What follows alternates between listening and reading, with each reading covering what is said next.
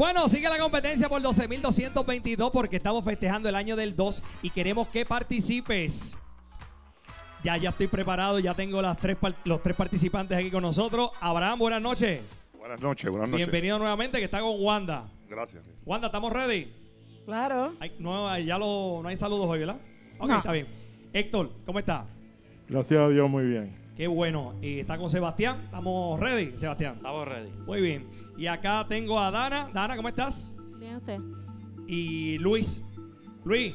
Ah, no, pero aquí hay un problema, Adolfo. Aquí hay un problema. ¿Qué pasó? Aquí hay un 3 contra 2. Ese equipo tiene 3. Oh, sí. Tiene 3 participantes. Ese equipo hay 3 participantes. ¿Cómo se llama la nena? Dailies. Ah, Dailies. Deilis. Deilis. Bueno, después que Deilis se quede calladita, que no, le diga las contestaciones, estamos bien. Ella puede estar, ¿está bien? Ok. Chicos y chicas, este domingo, el que tenga más puntos es el que pasa la próxima ronda por 12.222. ¿Estamos claros? Hasta ahora, Abraham y Wanda tienen 3, Héctor y Sebastián tienen 8, y Dana y Luis tienen 8. Cualquier cosa puede pasar porque eh, tienen hoy y tienen el domingo, que voy a hacer muchas preguntas el domingo. ¿Preparados? Silencio total en el estudio, señoras y señores. Comenzamos primera pregunta, Abraham y Wanda, vámonos. Buena suerte. Juega en su casa con nosotros.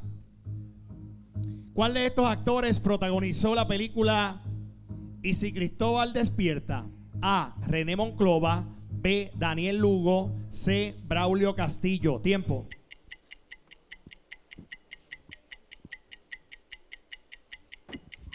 La A. Incorrecto, era la C. Braulio Castillo. Sebastián y Héctor, vámonos.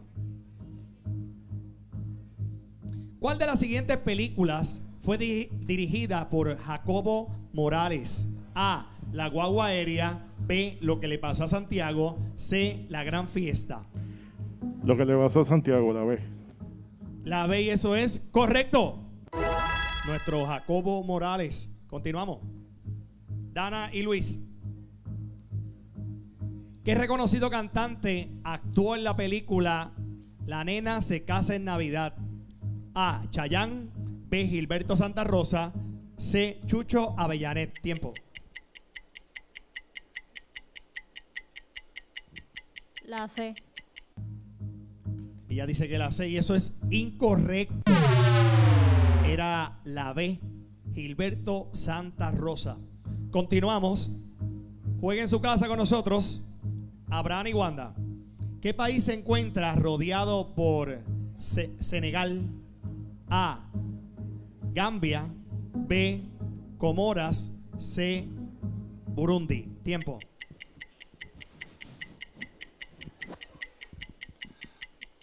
La B. La B, incorrecto, era la A.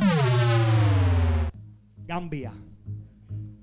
Héctor y Sebastián. Continuamos. Juegue en su casa, aprenda, diviértase con nosotros. ¿En qué isla italiana se encuentra la famosa Gruta Azul? A. Stromboli. B. Capri. C. Elba. Tiempo.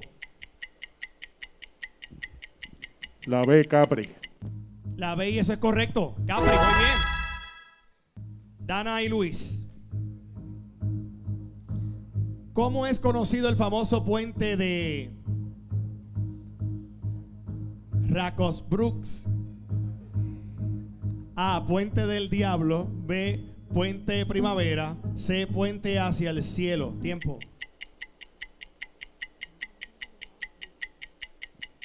Racos Brooks. La A. La A. Correcto, Puente del Diablo. Seguimos. Abraham y Wanda. ¿En qué constelación se encuentra la estrella polar o Polaris? A. Osa Mayor. B. Can Mayor. C. Osa Menor. Tiempo. La A. La A. Incorrecto. Era la C. Osa menor. La contestación correcta. Sebastián y Héctor. ¿Cómo se llama la estrella roja que se encuentra en la constelación de Orión? A.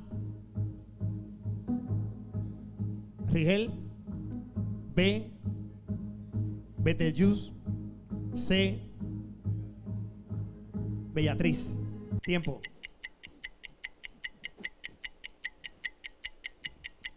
La C, Bellatriz. Y eso es incorrecto. Seguimos con Dana y Luis. Sábelo todo jugando por 12.222 dólares. ¿Cuántas estrellas forman el famoso cinturón de Orión? A, 3. B, 4. C, 5. Tiempo. La C. La C. Incorrecto. Era la A. Eran tres. Vámonos con Wanda y Abraham.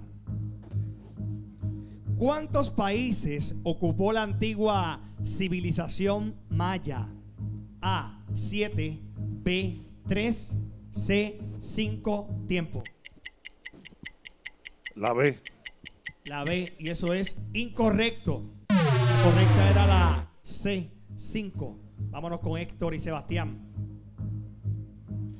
¿Cuál de estos países es considerado la cuna de los mayas? A Chile, B Honduras, C Guatemala. Tiempo.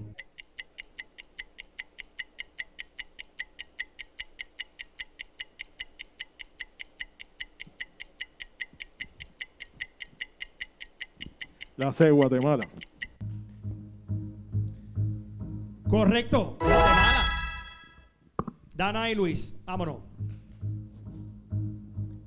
¿Cuál de estos es uno de los yacimientos mayas más importantes del mundo? A. Tikal. B. Betel. C. Latán. Tiempo.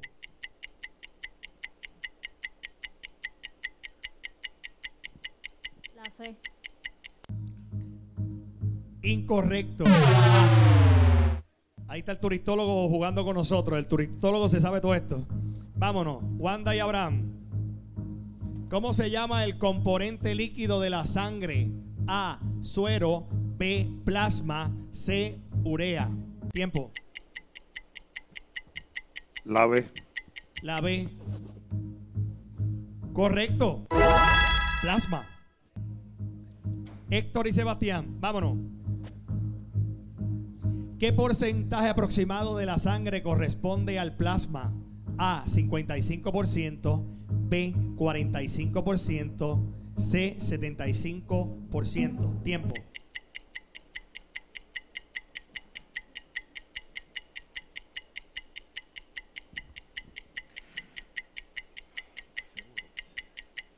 La A, 55%.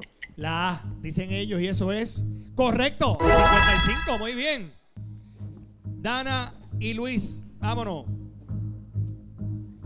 ¿Cuál es la célula sanguínea encargada de transportar el oxígeno? A. Glóbulos blancos.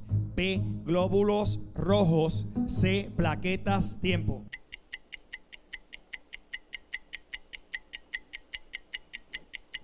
La B. Correcto. La B. Glóbulos rojos. Continuamos, Abraham y Wanda. ¿Cuál de los siguientes sonidos emiten las ovejas?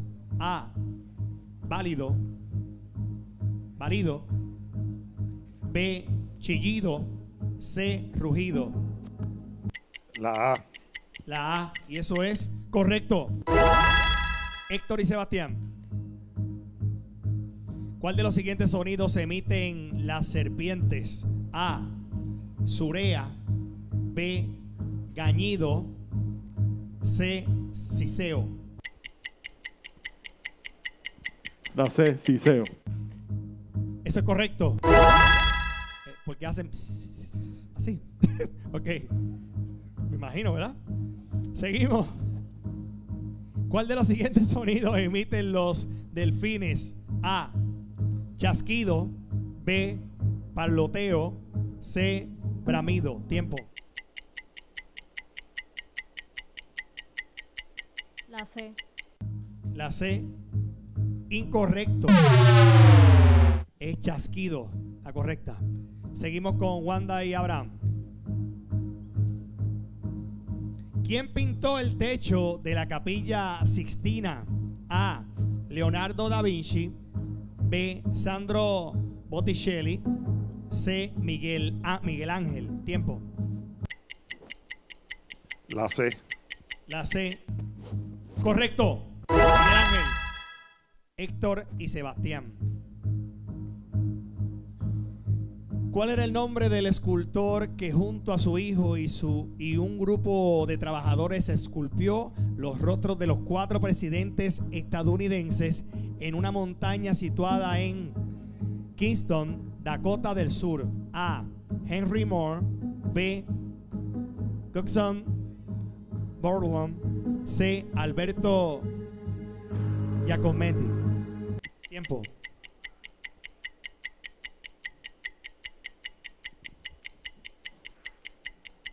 La B. Gustav Borglund. Correcto. Esa misma. Vámonos con Dani Luis. ¿En qué ciudad de la India se encuentra ubicado el Taj Mahal? A. Agra. B. Bombay. C. Chennai. Tiempo. B. B. Y eso es incorrecto. Era la A. Bueno, muchachos, así está la situación de hoy. Abraham y Wanda tienen 6 puntos. Héctor y Sebastián tienen 14. Y Dani y Luis tienen 10 puntos.